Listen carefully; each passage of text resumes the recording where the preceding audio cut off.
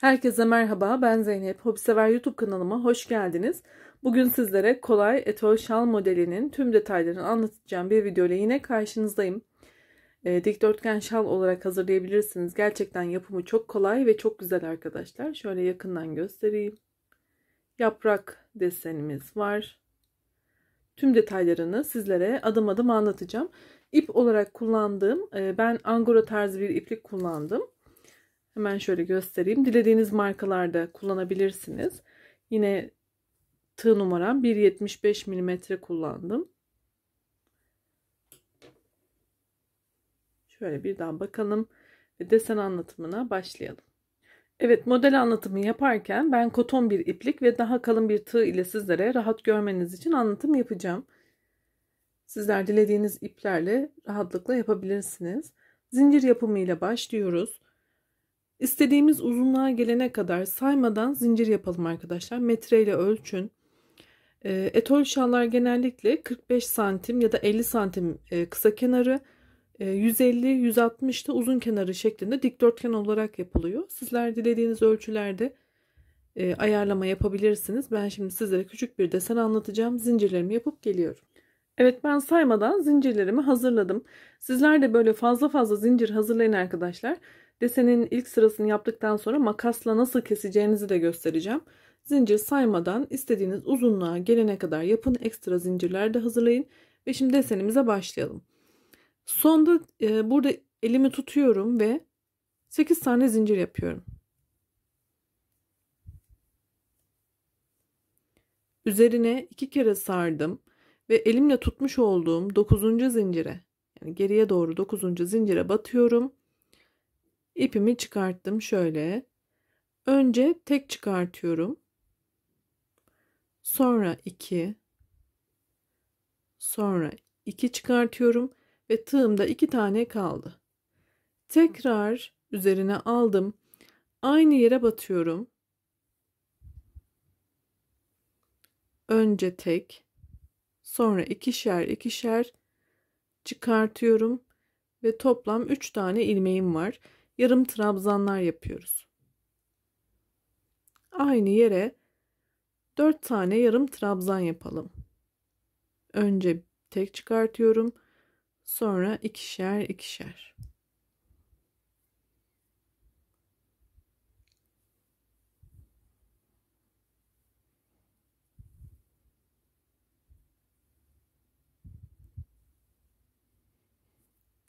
Evet. Tığımda toplam 5 tane ilmek var. Hepsini tek seferde çıkarttım.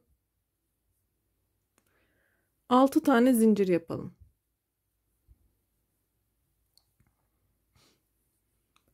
Ve yine başlangıçtaki batmış olduğum noktaya batarak sık iğne yapıyorum.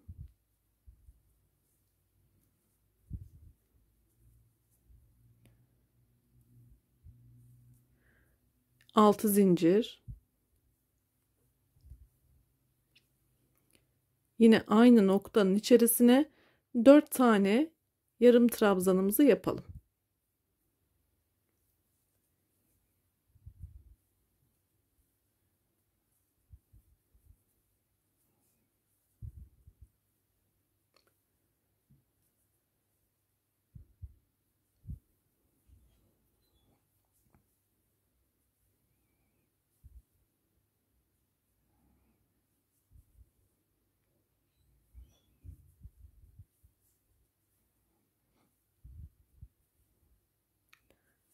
Evet 4 tane yaptım.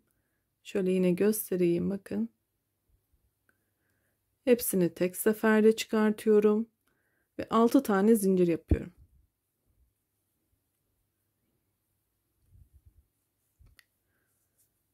Hemen yapraklarımızı yaptık. Devam edelim. Şimdi aşağıdan sayalım. 1 2 3 4 5, 6, 7. zincire sık iğne yapalım.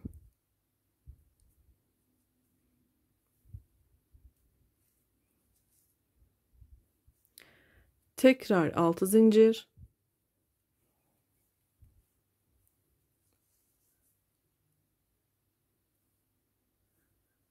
üzerine iki kere sardım. Yine yaprak yapacağız. 1, 2, 3, 4, 5, 6, 7. zincirimize batıyoruz. Yavaş yapıyorum görmeniz için. Şurayı bir daha yapalım.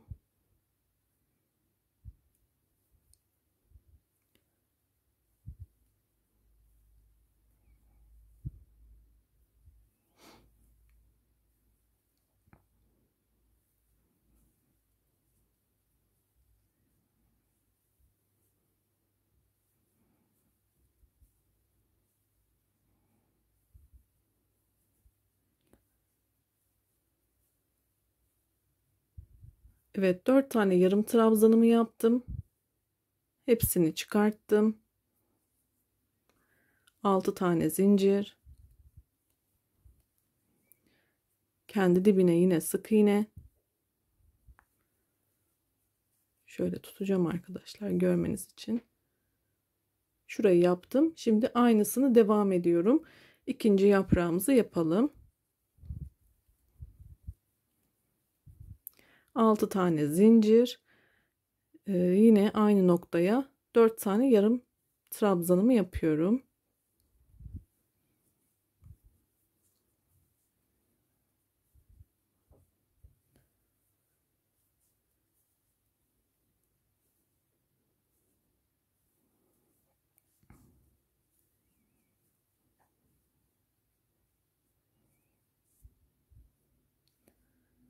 Hepsini tek seferde çıkarttım. 6 tane zincir yaptım. Yine 7. zincire sık iğne yapıyorum.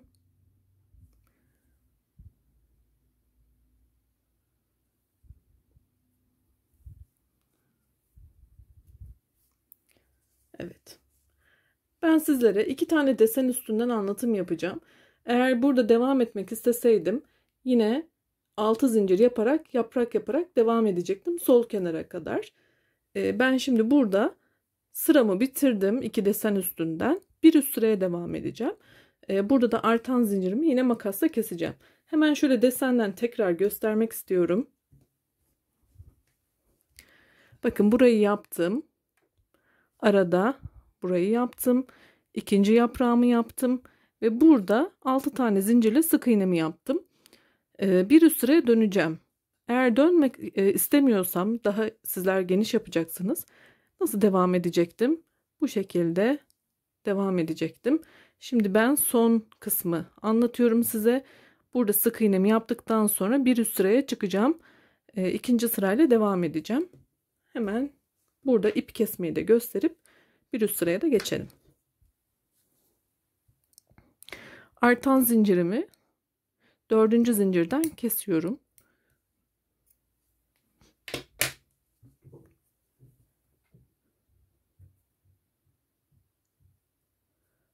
Ve buradan ipimi çektiğim zaman zincir saymadan başlama tekniğini uygulamış oldum. Şimdi ikinci sırayla devam edelim. İkinci sıraya başlayalım.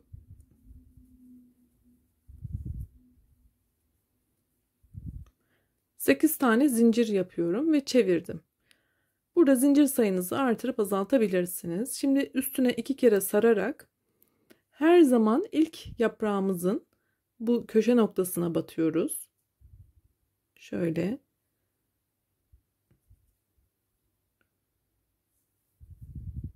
Ve buraya iki tane yaprak yapalım. Yine aynı 4 tane yarım trabzan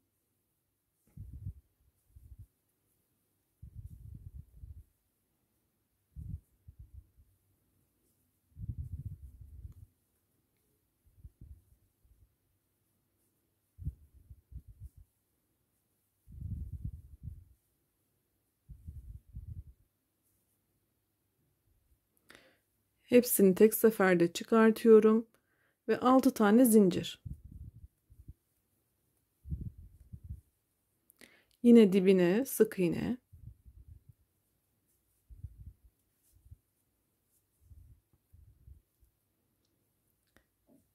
Altı zincir. yine aynı noktaya 4 tane yarım trabzanımı yapıyorum.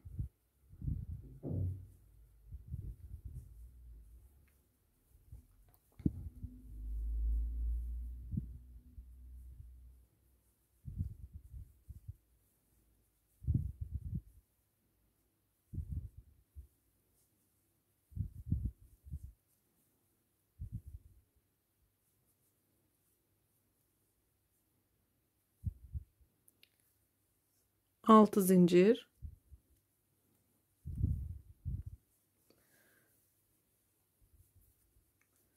Ve ikinci yaprağımın tepesine şöyle tutarak göstererek yapacağım yine.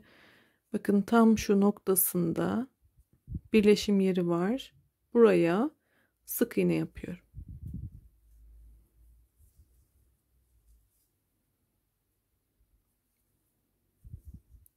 Altı zincir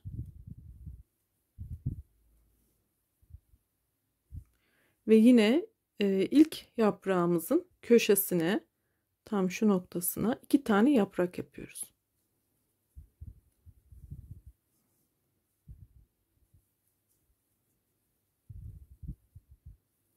Artık buraları hızlı geçeyim. Zaten aynı sayılarla yapıyorum.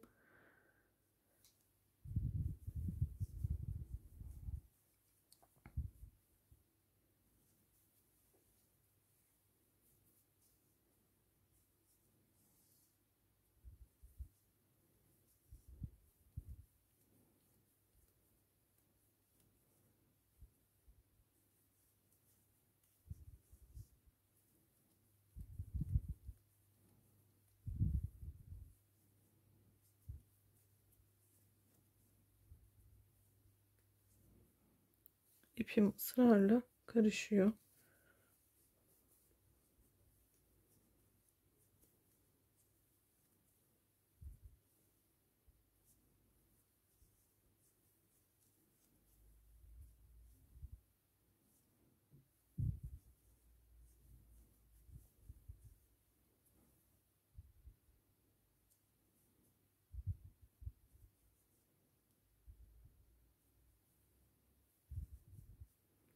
Şöyle göstereceğim yine arkadaşlar. Bakın.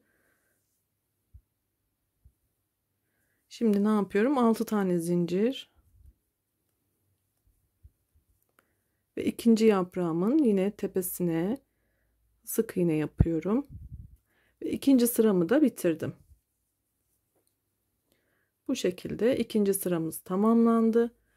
Ee, yapraklar böyle kenara doğru kayıyor. Şimdi bir sırada da yine birinciyi yaptığımızda yine bu şekilde zikzak bir görüntü elde edeceğiz.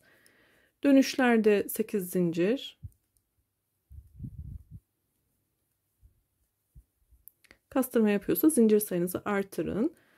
Şöyle 3. sıraya başlayalım. Kusura bakmayın ipim çok karıştı. Kapatmak durumunda kaldım. Şimdi yine aynı şeyi tekrar ediyoruz aslında. Desen tekrarı yapalım.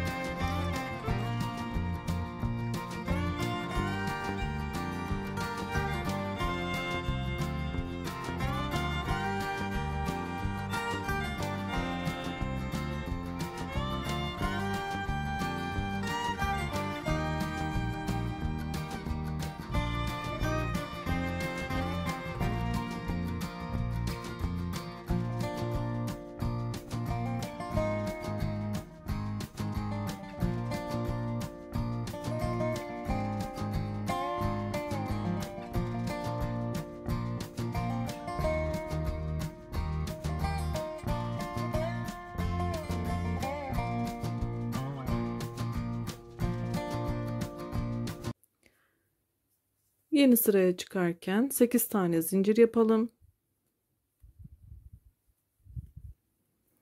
Ve çevirip aynı şekilde tekrar ediyoruz. Desenimiz oldukça kolay arkadaşlar. Ee, bundan sonrasını eminim yaparsınız.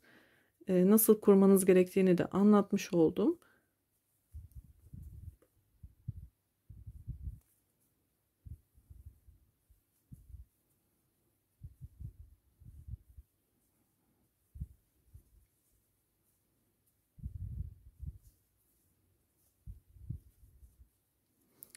Evet. Artık desen kendini tekrar ettiği için anlatmaya gerek kalmadı. Umarım anlatabildim, beğendiniz, memnun kaldınız. Ee, şimdi hemen büyük deseni tekrar göstereyim. Şöyle arkadaşlar ben burada e, ütü yapmadım ama bence ütü gerekir bu modele. Ee, üzerine bir nemli bez koyabilirsiniz. Bir örtü. Çok hafif buhar ütüsü yapın. Eğer böyle angora iplerle yapıyorsanız daha güzel duracaktır. E, bu modelle sadece dikdörtgen şal, etol değil yelek de yapabilirsiniz ya da farklı birçok e, örgülerinizi değerlendirebilirsiniz. Beni izlediğiniz için çok teşekkür ediyorum. Eğer bu tür örgüleri seviyorsanız videomun sonuna sizler için bırakacağım oynatma listesine de göz atın lütfen. YouTube kanalıma da ücretsiz bir şekilde abone olarak bana destek olursanız çok memnun olurum. Sağlıkla kalın, hoşçakalın.